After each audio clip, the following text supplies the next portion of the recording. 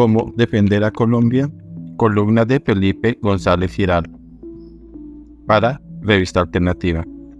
A menos de 48 horas de los últimos actos contra la democracia cometidos por el dictador Petro, la ciudadanía, como conglomerado humano que soporta los impactos de las decisiones arbitrarias del régimen vigente, decepciona por su falta de una reacción coherente.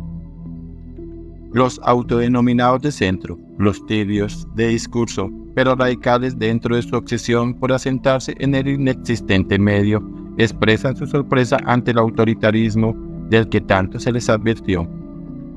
Su compulsión refleja su falsedad. Solo buscan lavarse las manos cuando ya es muy tarde. Ayudaron a elegir al energúmeno y ahora pretenden desmarcarse, impulsados más por un interés electoral a corto plazo que por una renovada comprensión de la moralidad.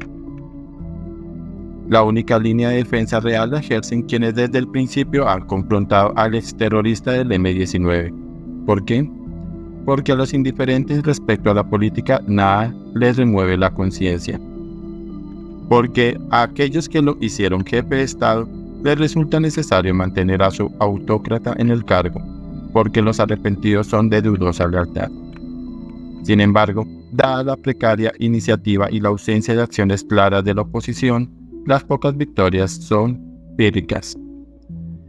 Se ganan batallas y se está perdiendo la guerra. Nadie lo encara con fuerza. En consecuencia, Petro todavía se mueve con bastante fluidez y hace lo que se le viene en gana, mientras el Estado se cae como un castillo de naipes soplado por un abusador. Si alguien sigue escéptico, evalúe las siguientes preguntas. ¿Cómo es posible que desde el instante en que fueron intervenidas Sanitas y Nueva PS, entidades con alrededor de 6 millones y 11 millones de usuarios respectivamente, la población no haya salido en masa a arengar frente a la Casa de Nariño? Tiene lógica que aún se mantenga la fecha del 21 de abril para salir a marchar cuando es imperioso ya estar llenando la Plaza de Bolívar. ¿Por qué se continúa debatiendo en espacios académicos, de redes sociales o televisivos la permanencia de Petro en el gobierno si el hombre ha dejado claro que le suda gobernar y que su objetivo es perpetuarse en el poder usando los medios ilegales a su disposición? ¿En qué consiste esa fatua discusión entre hacer o no un paro nacional cuando quizás sería la única alternativa?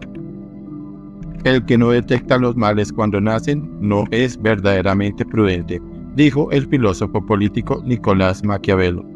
Una frase que alude a la prudencia en su sentido de buen juicio, madurez o reflexión, pero que también se extendería a la estupidez de la manera en que el escritor estadounidense William Gaddis lo concibió. El cultivo deliberado de la ignorancia. En Colombia se desconoce el significado de la prudencia. Su población es experta en cosechar la estupidez y propesa una tolerancia impropia a la gente sensata. Sabrá Dios.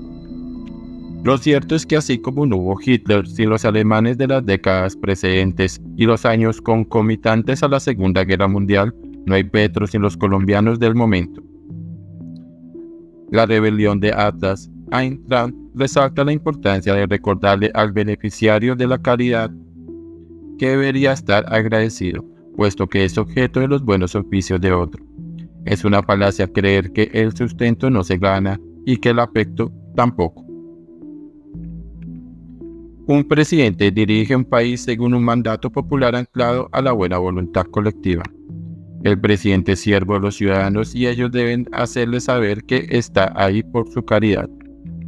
Petro se ha demorado en recordar que nunca ha tenido crédito y si lo tuvo con algún sector se agotó hace mucho tiempo.